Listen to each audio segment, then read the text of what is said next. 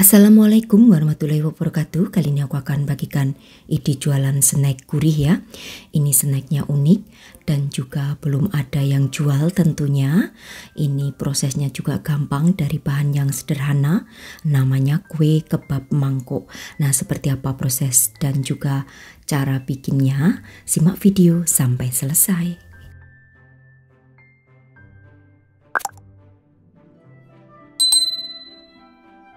Aku siapkan terlebih dahulu ada 200 gram tepung terigu, aku menggunakan yang pro sedang, lalu tambahkan dengan setengah sendok teh garam. Setelah itu juga akan aku tambahkan di sini dengan minyak sayur sebanyak 3 sendok makan ya, atau juga bisa uh, dibilang minyak goreng. Jadi buat yang bingung antara minyak sayur dan minyak goreng itu sama. Oke, kemudian masukkan 100 ml air panas lalu aduk hingga tercampur rata. Untuk memasukkan air panasnya sedikit demi sedikit supaya tidak kelembekan ya. Lalu setelah itu akan aku uleni menggunakan tangan menjadi kalis.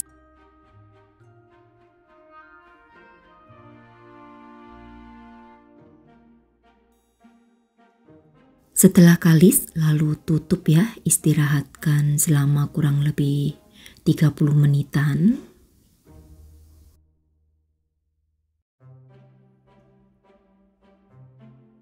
Nah setelah 30 menit kemudian akan aku bagi untuk adonan ini dengan berat masing-masing 30 gram. Fungsi dari diistirahatkan 30 menit supaya kulitnya itu lentur dan fungsi kenapa menggunakan air panas ya supaya uh, tepungnya itu matang ya. Jadi nanti saat diproses panggang itu nanti kulit uh, kebabnya atau kulitnya itu akan renyah hasilnya. Oke kemudian bikin bulatan-bulatan semuanya hingga selesai jadi satu resep yang aku bagikan itu kurang lebih menjadi 15 nantinya nah simpan ya di wadah seperti ini kemudian nanti ditutup menggunakan serbet supaya kulit bagian permukaan itu tidak mengering. Ambil satu bulatan ya, kemudian pipihkan menggunakan rolling pin. Jangan terlalu tipis dan juga jangan terlalu tebal. Oke, selanjutnya aku siapkan cetakannya. Ini cetakan kue muffin. Masukkan aja ke dalamnya. Kemudian nanti untuk bagian pinggirnya tinggal dirapikan ya. Bisa digunting menggunakan gunting atau bisa dipotong menggunakan pisau.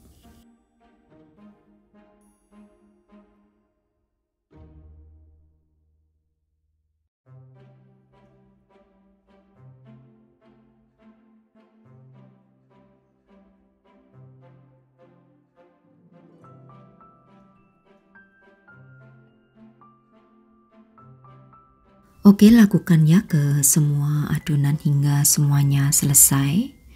Jadi untuk cetakannya itu terlebih dahulu diolesi dengan menggunakan margarin tipis-tipis supaya nanti tidak lengket ya saat sudah matang. Nah, kalian juga bisa menggunakan cetakan kue muffin yang berbentuk loyang, tapi ini di sini aku menggunakan cetakan kue muffin yang satuan ya supaya lebih gampang aja untuk membentuk. Tapi sebenarnya menggunakan cetakan kue muffin yang biasa berbentuk loyang itu juga mudah. Jadi nanti tentukan aja ya. Jika kalian punyanya loyang muffin, gunakan loyang muffin. Oke, setelah semuanya dibentuk menjadi mangkuk seperti ini, karena prosesnya mau kita oven, jadi untuk ovennya sudah harus kalian panaskan 10 menit sebelum adonan masuk. Nah, setelah itu ditusuk-tusuk aja bagian permukaannya supaya nanti tidak bergelembung ya saat dipanggang.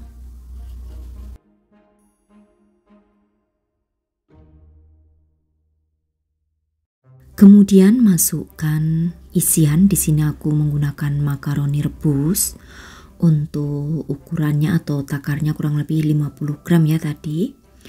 Nah, masukkan aja ke bagian tengah daripada cekungan mangkoknya. Baru setelah itu juga aku akan tambahkan dengan jamur kancing yang sudah dipotong dadu. Nah nanti untuk beratnya uh, lebih jelasnya akan aku tulis ya di akhir video. Kemudian masukkan tiga buah sosis yang sudah dipotong dadu juga. Lalu di sini akan aku tambahkan satu buah wortel yang sudah aku rebus ya untuk wortelnya dipotong dadu kemudian rebus terlebih dahulu. Nah lalu tambahkan irisan daun bawang kurang lebih satu batang untuk daun bawangnya. Lalu tambahkan juga potongan setengah bawang bombay ya yang aku potong dadu. Ini rasanya unik, ada gurih-gurihnya dan juga ada aneka macam rasa daripada sayurannya. Oke, kemudian di sini aku akan membuat untuk larutannya ya ada 150 ml susu cair, kemudian aku tambahkan dengan satu sendok um, makan tepung maizena, tambahkan juga dengan setengah sendok teh garam, lalu satu butir telur, ini diaduk hingga tercampur rata. Nah, buat kalian jika ingin ditambahkan dengan kaldu, uh, bubuk kaldu maksud aku silahkan. Oke, selanjutnya tuang kurang lebih 3 sendok makan ya. Untuk bahan cairnya ini, ini fungsinya untuk mengikat sayuran dan juga membuat gurih karena sayurannya itu kan tidak ada rasa ya. dengan ditambahkan uh, larutan maizena ini yang berasa gurih tentunya nanti akan membuat uh, rasa yang berbeda daripada isiannya. Nah setelah semuanya selesai diberikan isian larutan maizena, kemudian aku akan tambahkan topping buat pemanis aja di bagian atasnya dengan potongan cabai merah seperti ini.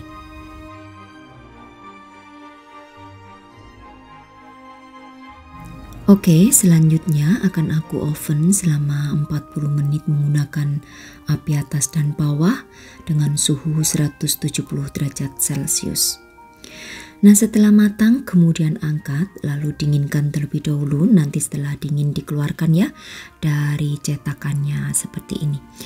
Nah saat lagi selagi masih panas ini untuk kulitnya memang crunchy. Jadi buat kalian yang ingin dijadikan sebagai ide jualan, lebih baik saat mau dijual baru dipanggang ya supaya kulit uh, kebabnya itu tetap keras karena aku coba diamkan sehari itu sorenya itu sudah kulitnya itu sudah tidak keras atau tidak renyah. Jadi uh, seandainya sudah tidak renyah bisa lagi dihangatkan di microwave mungkin ya atau bisa di oven kembali sebentar nanti juga akan renyah lagi untuk kulitnya atau kulit kebabnya.